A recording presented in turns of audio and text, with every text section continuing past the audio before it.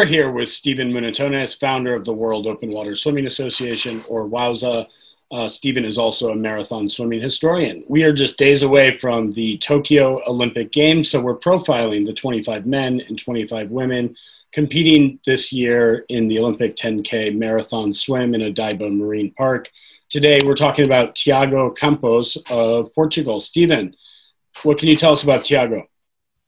Uh, Tiago, the 21 year old from Portugal, is very typical of that second tier of, of swimmers. You know, between 20 and 22 years old, uh, fast 200 freestyler, 153 into 200, 359 into 400.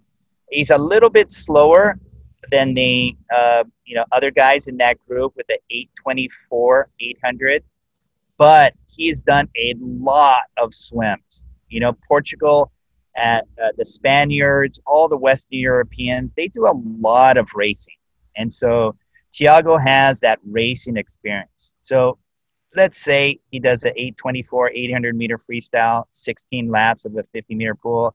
Throw that out the window. That doesn't matter. Tiago can race. And very importantly, he knows all of the top guys. He's raced against them. He stood on the uh, uh, starting platform. He's dove in. He's He's bumped elbows. He's smashed into them. He's swum over them. He's swum under them. He's you know hit their feeding uh, uh, sticks at the feeding station. He knows all that. You know he he's got this down.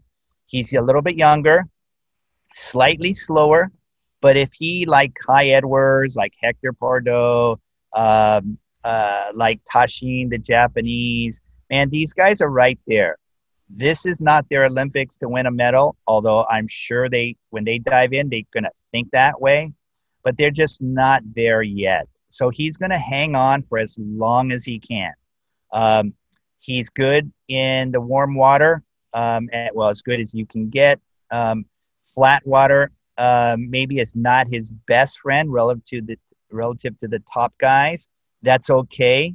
Um, and he's just going to suck suck in the middle. Just try to stay on that lead pack for as long as he can. If he can hang on for a good five, six loops, I would consider that a win for Portugal.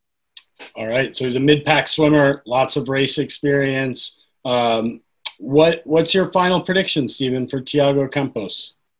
Like this middle group of swimmers, I think he's going to hold his position, his seated position, which is 16. And um, you know, if he can get up to let's say the 12th position or so, consider that a, a victory for himself and uh, all of the open water swimmers in Portugal. Um, and if he can sneak into the top 10, boy, that would be that would make his coach, his team, his country very proud of this young man. But I just don't see it. All right. We look forward to August 5th in Tokyo Bay. Thanks, Steven. You're welcome.